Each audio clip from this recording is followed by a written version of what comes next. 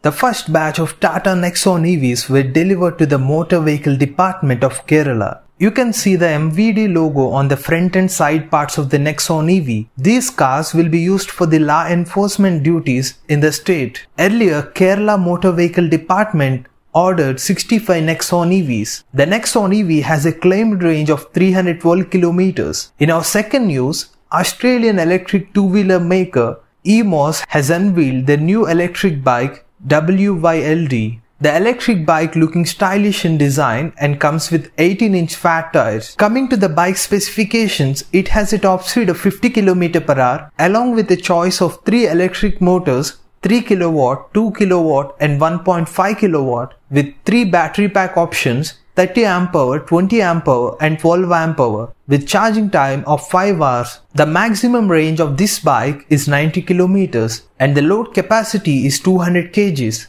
The price of EMOS WYLD electric bike is 2999 Australian dollar in Indian currency 1,61,000 rupees. In our third news, Bajaj has temporarily paused the pre-bookings of Chetak electric scooter to completely localize its battery packs. Earlier, Bajaj Chetak batteries are to be imported from Wuhan, China, but due to COVID-19, the imports are severely affected.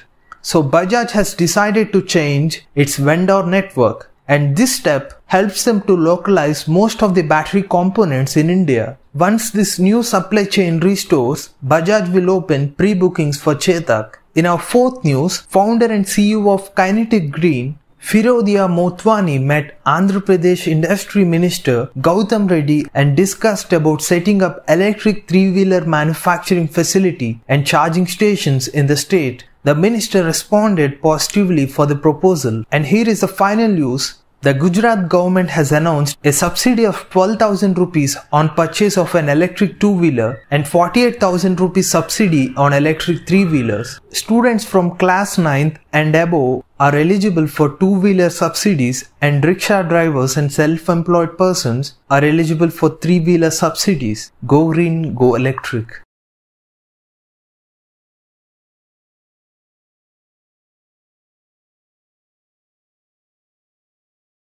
Electric Vehicles.in motto is keeping the earth a safer place to live for the next generations. If you want to join our movement, you can support simply subscribing to our channel or sharing our videos or commenting on videos. Thanks for watching.